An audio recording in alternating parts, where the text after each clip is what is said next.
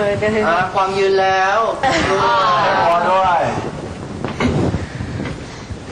ก็เอ่อตอนนี้เราอยู่กัน 16 คนใช่ไหมคะ กวางเชื่อว่าคอนเสิร์ตที่จะเกิดขึ้นวันเสาร์เนี่ยทุกคนต้องทำเต็มที่แน่นอน แล้วก็ยังไงทุกคนก็รักกันถึงว่าใครจะออกอะ่ะกวางเชื่อว่ายังไงมิตรภาพเราก็ยังอยู่ แล้วก็เราก็จะรักกันอย่างเงี้ยค่ะ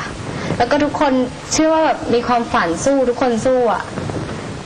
อยากให้ทุกคนใจเต็มร้อยนะพรุ่งเนี้ยสู้ให้คนเห็นให้คนที่แบบรักเราเห็นว่า เราทำเต็มที่มากๆที่สุดเลย แล้วก็มาล้วทุกคนนะทั้งสิบคนเลย มาสู้ๆทุกคนเลยไม่ต้องไปกังวลว่าใครจะออกหรือว่าอะไรทำให้ดีที่สุดผลอะไรจะเกิดขึ้นมาช่างมัน มันคืออนาคตอย่าเพิ่งเอามาใส่ เราตอนนี้ทำให้ดีที่สุด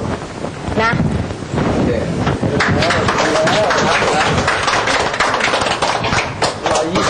าพูดมาแล้วครับครับครับอะใช่ไปแล้วหนึ่ง